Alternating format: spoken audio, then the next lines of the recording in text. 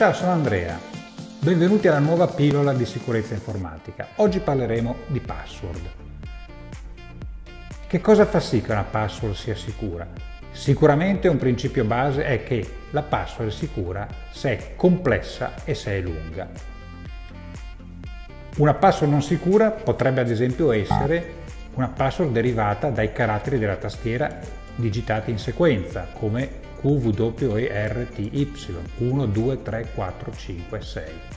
Ma anche una parola del dizionario italiano per noi italiani potrebbe essere una password insicura. Ad esempio, anguria non è una password sicura, è corta ed è una parola del dizionario.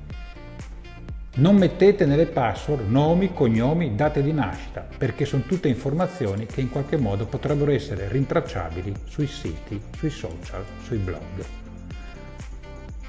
Altrettanto non è sicuro e non è furbo sostituire numeri con lettere maiuscole che gli assomigliano, ad esempio sostituire il numero 4 con una A maiuscola nella vostra password o il numero 7 con la T maiuscola, il numero 1 con la I maiuscola, non è una furbizia.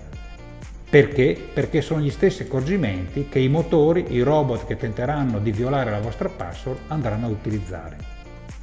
Se dovete mettere delle lettere maiuscole, non mettetele all'inizio delle parole che costituiscono la vostra password. Anche questa non è una manovra furba e verrà immediatamente provata dai motori di ricerca per scardinare le vostre password. I miei consigli. Consiglio numero 1. La password deve essere almeno lunga 8 caratteri. Questo lo richiede anche la normativa GDPR sulla privacy.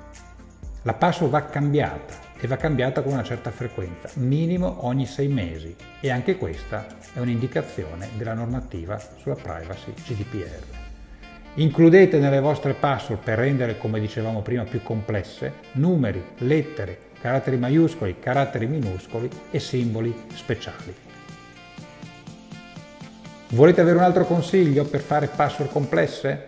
Utilizzate frasi conosciute di libri, di canzoni, di film, poesie e prendetene spunto per costruire la vostra password. Qui ne vedete un esempio. Ho finito la pillola di oggi. Un saluto da Andrea, stay tuned.